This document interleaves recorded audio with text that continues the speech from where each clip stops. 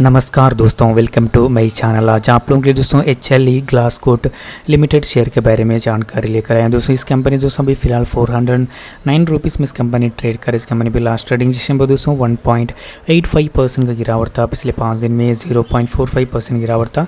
Last one month में zero point two three percent return बना के दिया है। लास्ट सिक्स मंथ पर सिक्सटीन परसेंट गिरावट था दोस्तों।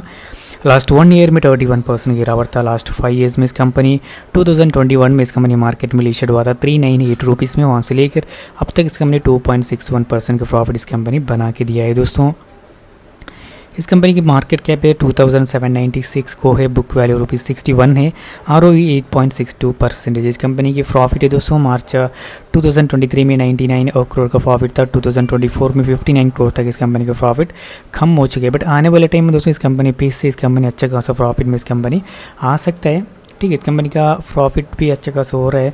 बट अभी थोड़ा सा कम हो चुकी है बट आने वाले टाइम में एक लॉन्ग टर्म इस कंपनी लॉन्ग टर्म का नज़र से देखी गई तो इस कंपनी अच्छा खासा प्रॉफिट में आ सकता है। इन्वेस्टर भी इस कंपनी पर सिक्सटी सिक्स परसेंटेज है। प्रोमोटर्स ने निवेश किया है एफ़ ने फोर परसेंट किया है। डी ने थ्री परसेंट किया पब्लिक लोग ने twenty five percent number of share holder लोग eighty one thousand fifty three है दोस्तों। इस कंपनी की बैलेंस शीट भी अच्छा है दोस्तों। आने वाले टाइम में अच्छा खासा ग्रोथ दिखा सकते हैं, ठीक है?